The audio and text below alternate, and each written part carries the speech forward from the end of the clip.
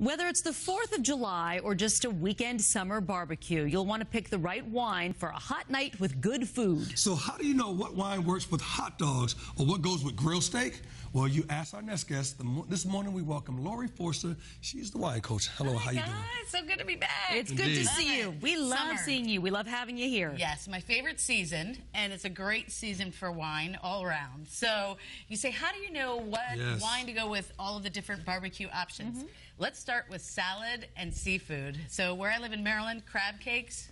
Are you big on them here? Yes. That's our thing. Everybody has their own crab cake and their way of making it. But uh, my first wine here, I have the Gnarly Head Pinot Grigio, and it's from the Lodi region in California. Now, we, we all know Pinot Grigio, right? It is Yes. the most popular white wine throughout my events around the country. This is what I see. So go ahead and, and grab a glass there. The Gnarly Head, what's great is it's only $9.99. Great price. Uh, give it a mm-hmm. swirl and a smell. And gnarly head is named after these old vines that are in Lodi that have these gnarly, twisted trunks. But old vines make better wine, just like old people do better stuff, right? You're right about Older that. Then I must be doing some good stuff, but yeah. You've got here, you got citrus and melon and some tropical fruit, so mm. real fruity, I like but it. still that ending with some crisp acidity that's going to make it great with anything you squeeze a lemon on. Again, seafood, a salad. Yes, I love that melon taste of this.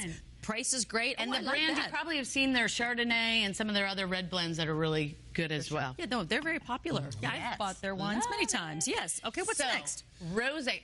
Us in the wine business, we have been screaming about rosé for 10 years now, and finally people are getting it. There's a hashtag out there, rosé all day. Yeah. Well, I'm all about it. And uh, if you remember when I was here at Mother's Day, I introduced you to a California rosé, Mm-hmm. but today I thought it'd be fun to explore French rosé. So we have three different styles and places, and you can see right away the color every shade of pink that you can think about. So our first one here is Laurent Gauthier, and it's twelve dollars. It's from the Beaujolais region, part of Burgundy, and you're actually going to taste Sure. that, Colleen. I'm happy to. Um, It's got really great red fruit, and but still that crisp, snappy acidity that's so great. It's made from the Gamay grape Mm. in Beaujolais, and it's really, really delicious. Hot dogs you mentioned, Yes. great with rosé. Okay. Great with Okay, rosé. I wouldn't know that. I didn't know that. So Domaine um, Bougrier, we were talking about the pronunciation, okay. makes a Rosé d'Anjou, which is a, a place in the Loire Valley. So now we're moving to Loire. We did Burgundy, now Loire. And they make ones that still have that red fruit, but a little bit of sweetness Okay. that Eugene, I know you love. And so this is going to go with your spicier things, right? So if you have some spiced pork or Hey, you know barbecue down here, right? We love our barbecue. This is a great barbecue rosé. Again, only twelve dollars. I like this And one. he's loving it. I like that smile I like on his this one, face. right? But imagine it with the barbecue. I know, Wouldn't that my be a goodness. combo? And then the queen, or you know, the origins of uh, French rosé, Provence.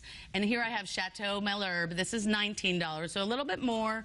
Uh, notice I gave myself the most expensive one. Um, this is their Pointe du Diable, and it's made from Grenache and Cinsault, like a blend, like red blends are made, but Gotcha. these are rosé blends. And just think of rosé like a weak red.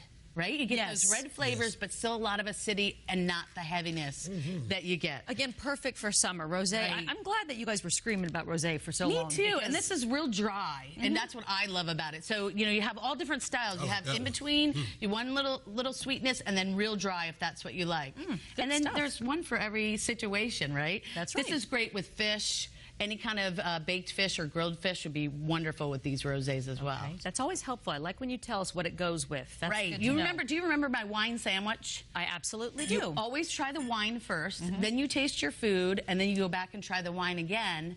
And if the wine tastes even better after the food, that's a great pairing. Then you've done a good wine, job. Mm-hmm. Food, wine. Keep making the wine sandwiches. I think of you every time I have a wine sandwich. Oh, I love which is it. quite often. Yes. So I hear that Colleen specializes She in red. specializes in red. So this is a red blend. Again, rosé hot trend in the wine world. Red blends are too. They've been for about a year now. This is a blend of Petite Sirah, Syrah, Zin, Cab, and Malbec. So oh. think of it like a recipe that the winemaker is working on. And if you're going to grill up those meats, if you're going to do burgers, really bigger mm-hmm. things, you want your red. So if you put your nose in this, you get blackberry and blueberry, even a little chocolate hint that makes it a mm-hmm. real nice fruity but dry finish mouth filling, right? so good. Because as the foods get bigger, you want your wine to get bigger. Mm-hmm. Fourteen ninety nine, so still a great value.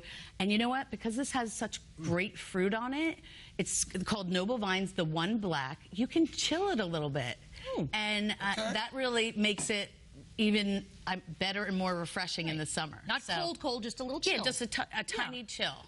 That's good stuff, right? Oh, Laurie Forster. He's going back to his I had to go back to the rosés. Pour yourself some more. I like the rosés too. Yeah, they mm-hmm. don't call her the wine coach for nothing. Go to Right? thewinecoach.com. Thewinecoach.com. You can find more from Laurie Forster there. Thank you so much. Very Thank you. Cheers to the summer.